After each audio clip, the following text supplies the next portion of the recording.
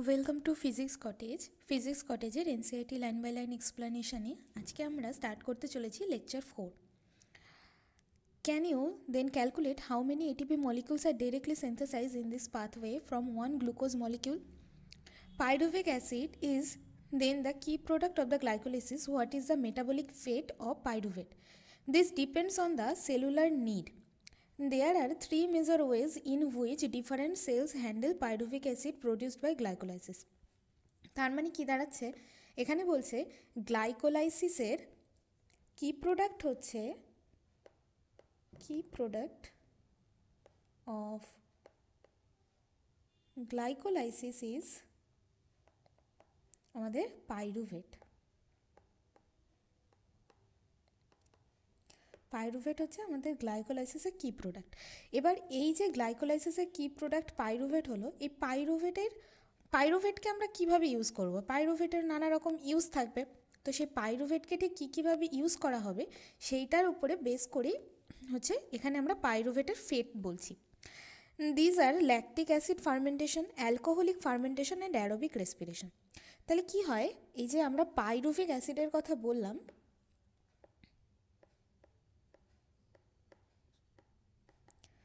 Pyruvic অ্যাসিডকে তিন ভাগে use করা যেতে পারে। একটা কি হয়? Lactic acid. আরেকটা কি হয়? আমাদের অ্যালকোহল তৈরি হয়। আরেকটা কি হয়? অ্যারোবিক রেসপিরেশন হয়ে থাকে। এই অ্যারোবিক রেসপিরেশনের পরে ডিটেলসে আরও পার্টগুলো যা যা আছে সেগুলো আমি বলব। আমি এখানে জাস্ট তিনটে পার্ট বলে দিলাম। কীভাবে কোনটা হচ্ছে? Fermentation take place under anaerobic condition in many prokaryotes and unicellular eukaryote. তাহলে ফার্মেন্টেশন কি কি হয়? Fermentation take place under anaerobic condition fermentation সবসময় অক্সিজেনের অ্যাবসেন্সেই হবে। ল্যাকটিক অ্যাসিড ফার্মেন্টেশন মানে কি হয়? যে আমরা অনেক সময় হয় না, আমরা অনেকক্ষণ ধরে যখন আমাদের পরীক্ষার এক্সামে লিখতে হয়, লিখতে লিখতে আমাদের হাত ব্যথা হয়ে যায়। প্রচণ্ড স্পিডে লিখছে, আমাদের হাত ব্যথা হয়ে যাচ্ছে। কেন হয়? তখন আমাদের মাসেলের মধ্যে ল্যাকটিক অ্যাসিড জমতে শুরু করে।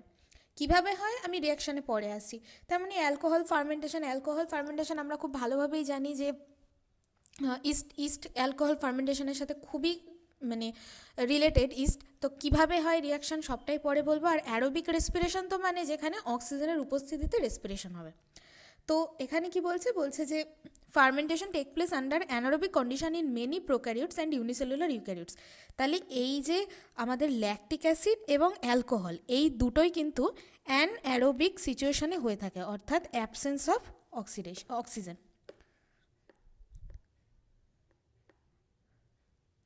absence of O two তো অক্সিজেনের অ্যাবসেন্সে ঘটে থাকে। For the complete oxidation of glucose to CO2 and H2O, however, organisms adopt Krebs cycle, which is also called as aerobic respiration. This requirement O2 uh, requires O2 supply. তাহলে এখানে কি বলছে এখানে বলছে যে অর্গানিজম অ্যারোবিক রেসপিরেশন যখন করে aerobic রেসপিরেশনে কী হবে আমি তো আগেই বলেছি যে গ্লুকোজের পার্শিয়াল অক্সিডেশন হচ্ছে হয়ে এই সমস্ত প্রোডাক্টগুলো হয়ে পাইরোভিক অ্যাসিড হচ্ছে। তার মানে ওখানে কমপ্লিট অক্সিডেশন হচ্ছে না। এবার যখন গ্লুকোজের পুরোপুরি কমপ্লিট অক্সিডেশন হবে, তখন কিন্তু আমাদের সিও টু আর এইচ টু তৈরি হবে, যেটা আমি আগেই বলে দিয়েছিলাম রিয়াকশান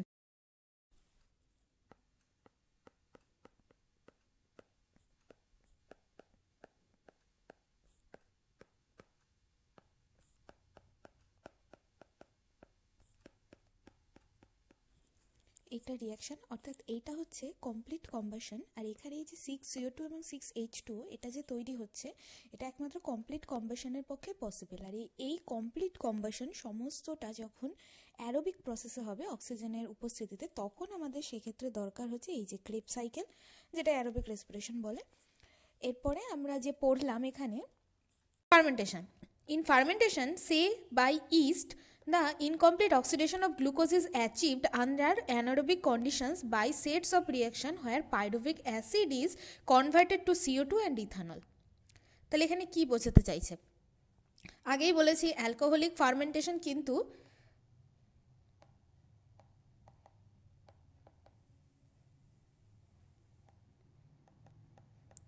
অ্যালকোহলিক ফার্মেন্টেশন ইস্টের ক্ষেত্রে হবে incomplete oxidation of glucose is achieved under anaerobic condition by sets of reaction where pyruvic acid is converted to CO2 and ethanol.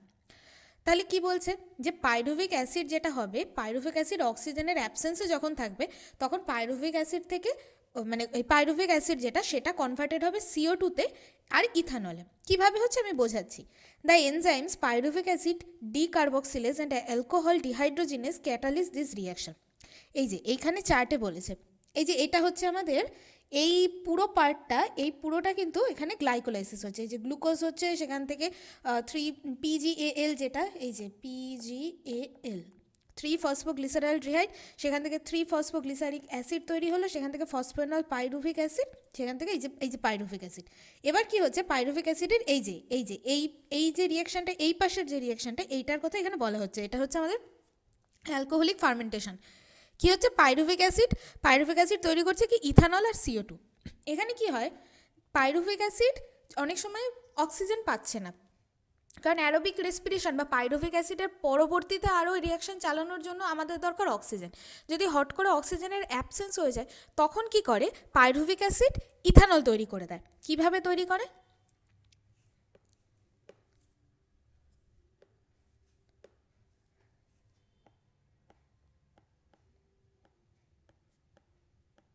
Pyruvic acid. Pyruvic acid থেকে তৈরি হয় কি? অ্যালডিহাইড। অ্যালডিহাইড থেকে কি তৈরি হয়? ইথানল। এবার এই অ্যালডিহাইড যেখানে তৈরি হয়, অ্যালডিহাইড তৈরি হয়ে কি হবে এখানে? এই কালারটা বোঝা যাচ্ছে না। অ্যালডিহাইড যখন তৈরি হবে, এখান থেকে সিও টু বেরিয়ে যায়। সিও টু বেরিয়ে যায় অ্যালডিহাইড তৈরি হয়ে গেল, আর এখানে আমাদের অক্সিডেশন ঘটে যায়। এবার অক্সিডেশন কেন ঘটে? অক্সিডেশন ঘটে মানে কি ঘটে এখানে? এই যে এনএডিএইচ প্লাস এইচ প্লাস থেকে অক্সিডেশন হয়ে এনএডি প্লাস তৈরি হয়ে যায়। এবার অনেকেই বলবে যে কেন অক্সিডেশনে কী দরকার হলো? অক্সিডেশন কেন ঘটলো? মানে অক্সিডেশন মানে আমি বলছি এনএডিএইচ এইচ প্লাসের অক্সিডেশন ঘটে। এখানে কিন্তু রিডাকশন ঘটলো। মানে প্রসেসটাতে রিডাকশন ঘটেছে। তো আচ্ছা তো এইভাবে হচ্ছে পাইরোভিক অ্যাসিড থেকে আমাদের ইথানল তৈরি হয়ে যায় এবং এই যে এখান থেকে সিও টু বেরিয়ে গেল। তো এইটা হচ্ছে আমাদের অ্যালকোহলিক ফার্মেন্টেশন ঘটলো। এবার এই জন্য এখানে কেন এনএডিএইচ প্লাস এইচ প্লাস থেকে এনএডি প্লাস তৈরি হলো? তার কারণ হচ্ছে যেহেতু এখানে অক্সিজেনের অভাব হচ্ছে অক্সিজেনের অভাব হয়ে এই যে এনএডি প্লাসটা আমাদের এই রিয়াকশানে তৈরি হচ্ছে, এই এনএডি প্লাসটাই কিন্তু আবার এই মানে গ্লাইকোলাইসিসটাকে অব্যাহত রাখার জন্য গ্লাইকোলাইসিস প্রসেসটা যাতে স্টপ না হয়ে যায়, তাই জন্য পাইরোভিক অ্যাসিড কী করে? ইথানল তৈরি করে দেয় মানে অ্যালকোহলিক ফার্মেন্টেশন ঘটিয়ে দেয়, সেখান থেকে কার্বন ডাইঅক্সাইডও বেরিয়ে গেল এবং এনএডি প্লাসটা কনস্ট্যান্টভাবে তৈরি হতে থাকে। এনএডি প্লাস তৈরি হলে পরেই তো ওখানে গিয়ে গ্লুকোজের পরপর করে রিয়াকশানটা চলতে থাকবে। অন্তত গ্লুকোজ রিয়াকশানটা যাতে থেমে না যায়, তাই জন্য এভাবে এখানে অক্সিডেশন ঘটে। Other organisms like some bacteria produce lactic acid from pyruvic acid এই যে যে কথাটা বললাম ল্যাকটিক অ্যাসিড ফর্মেশন কোনটা? এই যে, এই রিয়াকশনটা হচ্ছে ল্যাকটিক অ্যাসিড ফর্মেশন এখানে কি হচ্ছে?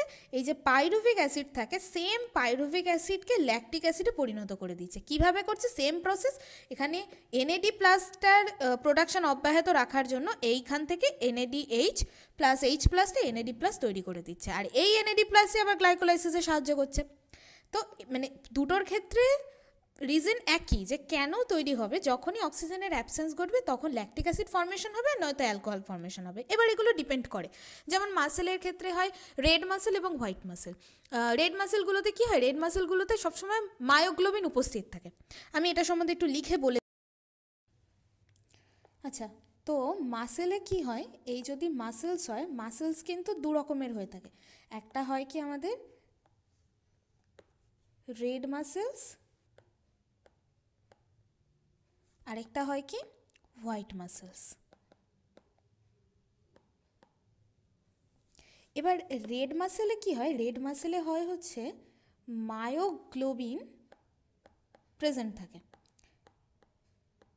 কিন্তু হোয়াইট মাসেল যখনই হয়ে যাবে, সেখানে মায়োগ্লোবিন অ্যাবসেন্ট থাকে।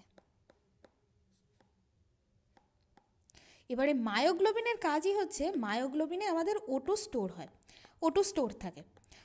এখানে তার মানে যথারীতি মায়োগ্লোবিন যেহেতু অ্যাবসেন্ট তাই এখানে ওটু স্টোর হচ্ছে না। এবার ওটু স্টোর না হওয়ার জন্য কি হবে? এখানে যখনই কোনো মানে পাইরুভেট তৈরি হবে পাইরুভেট আবার হচ্ছে মানে পাইরুভিক অ্যাসিড যেটা আমাদের সেই পাইরুভিক অ্যাসিড ডাইরেক্ট অক্সিজেন পাবে। এই অক্সিজেন নিয়ে ও আরামসে আমাদের CO two plus H two তৈরি করে নিতে পারবে। তাই এখানে ল্যাকটিক অ্যাসিড হওয়ার কোনো জায়গা নেই। কিন্তু যে সমস্ত মাসেলগুলোতে মায়োগ্লোবিন অ্যাবসেন্ট থাকবে, সেইখানেই কী হবে? পাইরুভিক অ্যাসিড যেহেতু অক্সিজেন সাপ্লাই পাবে না, তাই পাইরুভিক অ্যাসিড তৈরি করে দেবে কি? ল্যাকটিক অ্যাসিড ল্যাকটিক অ্যাসিডটা ওর ভেতরে সঞ্চয় হতে থাকবে মাসেলের মধ্যে। আর এই ল্যাকটিক অ্যাসিডটা আস্তে আস্তে সঞ্চয় হতে হতেই কিন্তু আমরা ওই যে হয় না যে আমরা অনেকক্ষণ ধরে লিখছি, তারপর লিখতে লিখতে আমাদের হাত ব্যথা হয়ে গেল, আমরা লিখতে পারি না বা অনেকক্ষণ হয় কি প্রথম দিকে আমরা অনেকটা খুব জোরে সাইক্লিং করলাম, তারপর আমাদের পা ব্যথা হওয়া শুরু করল। কেন হয়? এটাই হচ্ছে তার জন্য রিজন আমি বুঝিয়ে দিলাম যে মাসেলের মধ্যে কেন মানে কি ল্যাকটিক অ্যাসিড ফর্মেশন ঘটছে, আর কোন ধরনের মাসেলের ক্ষেত্রে হবে। The steps involved are shown in figure 12.2 in animal cell also like muscles during exercise when oxygen is inadequate for cellular respiration pyruvic acid is reduced to lactic acid by lactate and uh, dehydrogenase আচ্ছা এই দুটোর ক্ষেত্রে হচ্ছে মানে lactic acid formation হোক আর আমাদের alcoholic fermentation হোক এখানে বেশ কিছু এনজাইম কাজে লাগবে সমস্ত কিছুতেই তো এনজাইম তো আমাদের কাজে লাগবেই তো ল্যাকটিক অ্যাসিডের ক্ষেত্রে কি লাগে ল্যাকটিক অ্যাসিডের ক্ষেত্রে লাগে কালারটা একই রকমই হয়ে গেল রেড রেড ল্যাকটিক অ্যাসিডের ক্ষেত্রে কি লাগছে? না ল্যাকটেস ডিহাইড্রোজেনেজ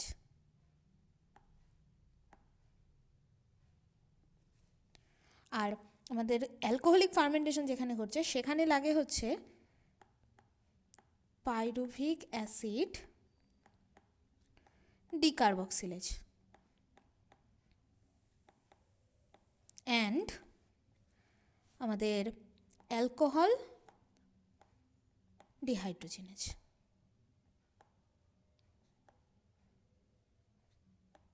অ্যালকোহল ডিহাইড্রোজেনেজ এবার কি? The reducing agent is H plus H plus we which is reoxidised to NAD plus in both process এটা তো আমি বললাম যে কেন এনএডি প্লাসে পরিণত হচ্ছে। In both lactic acid and alcohol fermentation not much energy is released less than seven percent of the energy in glucose is released. Not all of the, it is trapped as high energy bond of ATP এখানে কিন্তু কোনো ATP প্রস্তুত হচ্ছে না, কোনো ফার্মেন্টেশনে no ATP formation no ATP formation তো no ATP formation মানে এখানে এনার্জি স্টোর হওয়ার কোনো জায়গা নেই, কিচ্ছু নেই। তাহলে কি দাঁড়াচ্ছে? যে এখানে যে আমাদের খুব কম পরিমাণ এনার্জি এখানে রিলিজ হবে। অর্থাৎ একটা গ্লুকোজের মধ্যে যদি আমি একশো পার্সেন্ট শক্তি আছে, আমি চিন্তা করি সেই একশো পার্সেন্ট শক্তির মধ্যে মাত্র সাত শতাংশ সেভেন পার্সেন্ট শক্তি কিন্তু রিলিজ হবে আমাদের এই প্রসেসে also the processor hazardous either acid or alcohol is produced এই হ্যাজার্ডাস মানে হচ্ছে যেটা industrial industrial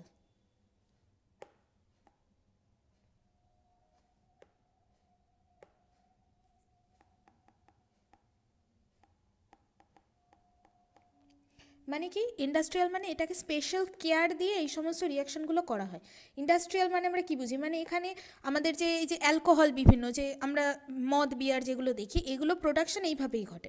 What is the net ATP that is synthesise calculate how many ATP are synthesise and deduct the number of ATP utilising during glycolysis when one molecule of glucose is fermented to alcohol O lactic acid আমি তো বললাম এখানে কোনো রকমের কিন্তু ATP তৈরি হবে না। Yeast poison themselves to death when the concentration of alcohol reach about thirteen percent মানে কী হয় ইস্টের ক্ষেত্রে কিন্তু আমরা জানি যে ইস্টের ক্ষেত্রে অ্যালকোহল ইস্টের ক্ষেত্রেও তৈরি হয়। তো এবার কী হয়, যখনই অ্যালকোহলের অ্যামাউন্ট থার্টিন পার্সেন্টের বেশি হয়ে যায়, তখন ইস্ট কী করে? ইস্ট নিজেদেরকে পয়জনাসভাবে মানে নিজেদেরকে মেরে দেয়। এইটা একটা ইম্পর্ট্যান্ট লাইন এটা ভালো কোশ্চেন হতে পারে যে কত পার্সেন্ট হলে পরে ইস্ট এটা করে। Uh, what then would be the maximum concentration of alcohol in beverages that are new, naturally fermented? How do you think alcoholic beverage of alcohol content greater than this concentration are obtained? What then is the process by which organisms can carry out complete oxidation of glucose and extract the energy stored and synthesize a large number of ATP molecules needed for cellular metabolism যেটার কথা বললাম এটাই হচ্ছে আমাদের aerobic respiration অর্থাৎ aerobic রেসপিরেশনের মাধ্যমেই কিন্তু আমাদের যে গ্লুকোজ থাকে মানে পাইরুভিক অ্যাসিড যেটা সেটা ডাইরেক্ট কার্বন ডাইঅক্সাইড এবং জল বার হ্যাঁ কার্বন ডাইঅক্সাইড এবং জল বার করতে পারে, যেটাকে এখানে অ্যারোবিক রেসপিরেশন বলা হয়। You eukaryotes this step take place within the mitochondria and this requires O two এই কথাটা এখানে আমি একটা ইম্পর্ট্যান্ট লাইন বলে দিচ্ছি। আমরা যে ল্যাকটিক অ্যাসিড ফার্মেন্টেশন দেখলাম ল্যাকটিক অ্যাসিড ফার্মেন্টেশন আরেকটা কি দেখলাম আমরা? একটা দেখলাম অ্যালকোহলিক ফার্মেন্টেশন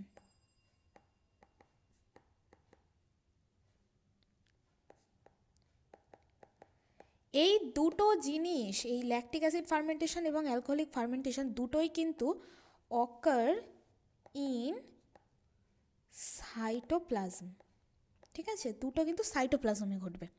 এটা একটা ইম্পর্টেন্ট কোয়েশ্চেন দুটো সাইটোপ্লাজমেই ঘটবে। ল্যাকটিক অ্যাসিড ফার্মেন্টেশন কোথায় হচ্ছে বলল? কিছু ব্যাকটেরিয়ার ক্ষেত্রে হয়, আর হচ্ছে কিসে হয়? আমাদের মাসেলে হয়। আর অ্যালকোহলিক ফার্মেন্টেশন ইস্টের ক্ষেত্রে হয়, ওটাও বেশ কিছু টুকটাক অর্গানিজম বা ব্যাকটেরিয়ার ক্ষেত্রে দেখতে পাওয়া যায়। কিন্তু অ্যারোবিক রেসপিরেশন